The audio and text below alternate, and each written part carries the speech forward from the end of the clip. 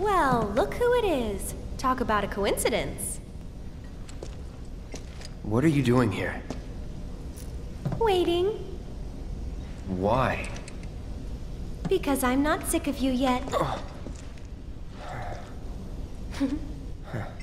Lead on then. With pleasure.